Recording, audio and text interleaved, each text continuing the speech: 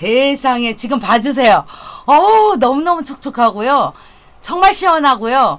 어 일단은 피부 미백에 어, 즉각적으로 효과를 보니까 기분 너무 좋은 것 같아요. 선생님들 우리 매일매일 이렇게 세안을 하면서 기미 관리하고 잡티 관리하고 주근깨 색소 이런 게 싹 지워지면 정말 얼마나 좋겠어요. 소선들 안녕하세요. 일반 뷰티 유튜버 소선 수자진이 인사드립니다. 여러분 반갑습니다. 이거를 하려고 하니까 웃음이 절로 나오는데요. 오늘은 우리 소선님들 어, 여행 가시는 분들도 정말 많고 그리고 여름 휴가 가시는 분들도 진짜 많잖아요. 그리고 남편분들도 밖에서 라이딩이나 골프 이런 것들을 많이 즐기시기 때문에 피부가 많이 타요. 자외선 차단제 꼭 바르시는데요. 집에 와서 얼굴이 붉게 어, 진정이 안 돼가지고 열이 올라와서 붉게 되기도 하고 아이들도 어, 놀고 학원에서 놀고 뭐하고 하다, 어, 하다 보면 아이들 얼굴도 막 그러잖아요. 오늘은 우리 소사님들이 곡물 세안제 다 써보셔서 아시죠?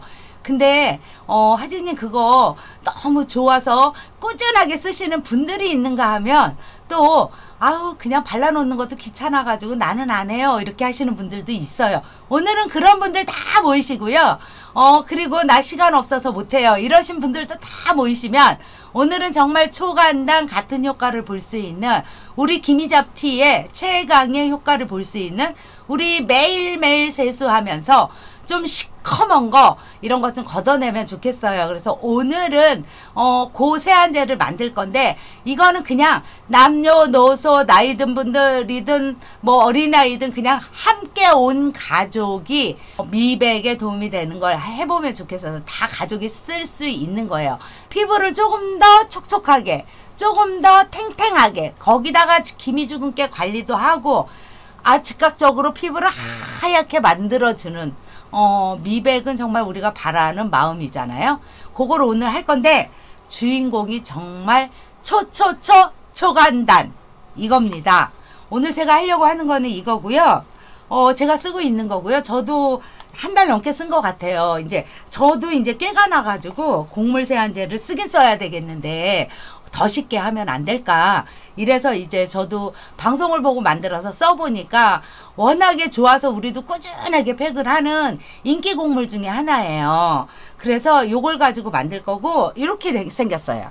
그냥 통에다 담아놓고 욕실에 놓고 가족 모두 쓰셔도 되고 냉장고에 넣을 필요도 없어요. 그냥 그러면서 매일매일 미백 관리하고 멜라닌 색소도 못 올라오게 하고 이렇게 하면 좋거든요. 오늘의 주인공이 뭐냐? 바로 미간가루입니다. 소사님들 미간가루 다 아시죠? 어, 미간가루에는요, 비타민 A가 많이 들어있어요. 지금 딱 쓰는 게 제철이거든요. 어, 비타민 A가 우리 피부에 땀을 많이 흘리고, 그래서 막 여기가 막 두꺼워서 각질대도 많이 쓰시고 거기다 땀 닦아내느냐고 스크래치도 나고 막 지치잖아요 피부가 그런 피부에 각질을 조금 더 보호를 해주고요 비타민 B1이나 B2 같은 경우는 우리 피부에 있는 칙칙한 김이나 잡티나 검버섯 주근깨 이런 것들을 옅게 하기도 하지만요 못 올라오게 어 계속 계속 바로바로 바로 즉각 즉각 어 미백을 주는 게 장점 중에 하나가 미간가루예요. 이 미네랄은 우리 피부를 어, 재생시키는 데도 도움이 되지만요. 세포를 보호, 보호하고 그리고 피부 노화를 억제해서 젊게 가꿀 수 있는 그런 기능을 하는 게 미네랄이거든요. 그래서 요걸 이용해 갖고 할 건데 너무 간단해요. 제가 일단 얼굴에 어, 세안할 수 있는 어, 발라보고 그리고 우리 소서님들하고 함께 해보도록 하겠습니다. 그리고 팩을 이렇게 중요한 팩을 했을 때는요. 또 팩하고 나서의 관리도 정말 진짜 중요하거든요. 팩하고 나서 팩의 효과를 조금 더 시, 어, 시너지 효과를 내서 조금 더 업해서 더 효과를 볼 수 있는 팩을 하고 나서 더 촉촉하게 더 탱글탱글하게 이렇게 할 수 있고 수분도 채울 수 있는 우리 수분팩도 같이 이어서 한번 해보도록 하겠습니다.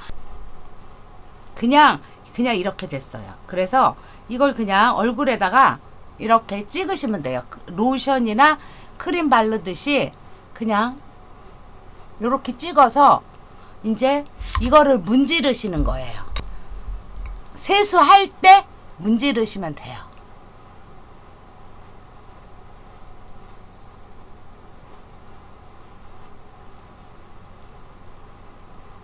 힘있게 문지르는 게 아니라 살살 문질러 주거든요. 살살.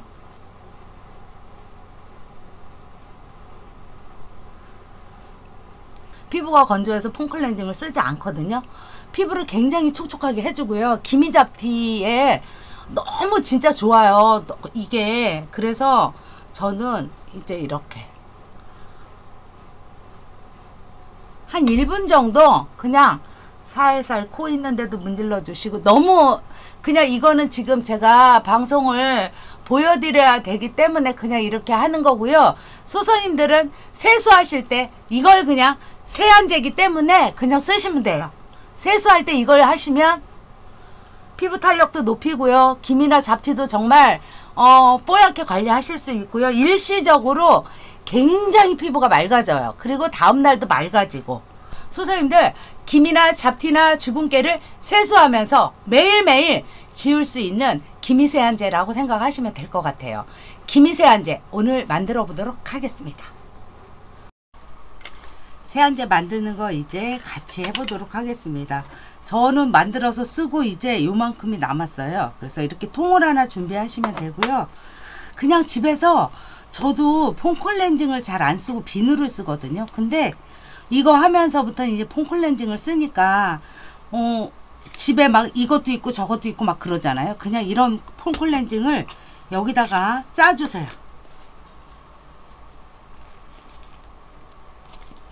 많이 섞어 놓으셔도 되니까 그냥 짜주시면 됩니다.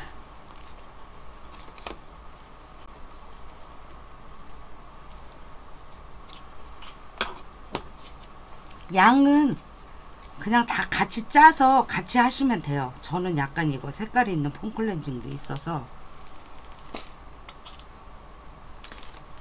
그래서 막 집에 남아 있는데 이렇게 폼클렌징을 여기다 이렇게 하시고요.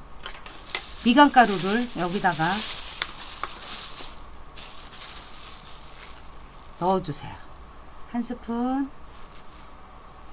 두 스푼 넣어주세요.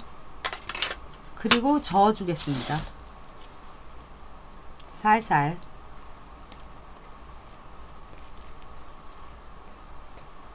건조하지 않아서 너무 좋아요.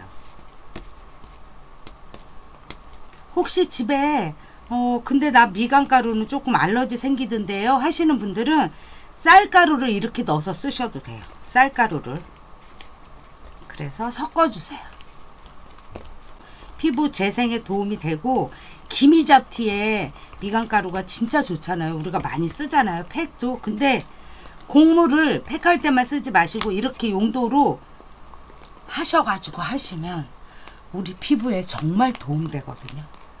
그래서 이렇게 이렇게. 그러면 제가 손에 지금 이제 한쪽 손만 문질러 보도록 하겠습니다. 지금 한, 한 손에만 문질러 볼게요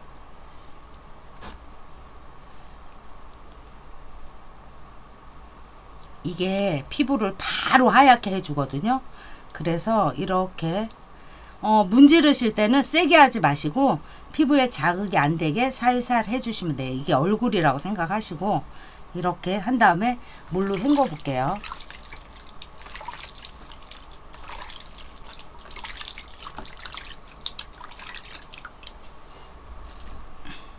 제가 지금 닦은 손을 보여드릴게요.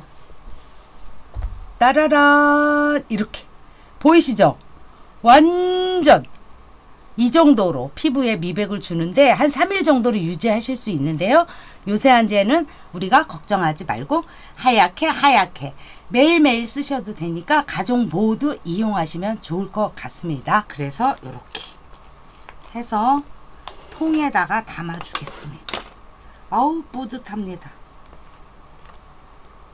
이제 이사 갈 때 이거 하나 들고 가고 기미 패치 지난번에 만드는 거 실방에서 제가 만드는 거 보여드렸잖아요. 또 그거 하나 만들어 가고 레몬 스킨 만들어 가고 그러면 화장품 하나도 필요 없어요. 그냥 이걸로 그냥 끝나는 거예요. 딱딱 긁어서 이렇게 가지고 가면 세안제로 여행 가실 때도 들고 다니시기 덜어 가시면 되거든요. 진짜 편하거든요. 여행 가셨을 때도. 이렇게 곡물 기미 세안제 완성입니다. 세수하고 올게요. 세수하고 왔습니다. 세상에 지금 봐주세요. 어우 너무너무 촉촉하고요. 정말 시원하고요. 어 일단은 피부 미백에 어, 즉각적으로 효과를 보니까 기분 너무 좋은 것 같아요. 소장님들 우리 매일매일 이렇게 세안을 하면서 기미 관리하고 잡티 관리하고 주근깨 색소 이런 게 싹 지워지면 정말 얼마나 좋겠어요. 어, 진짜 그거 저의 바람인데요.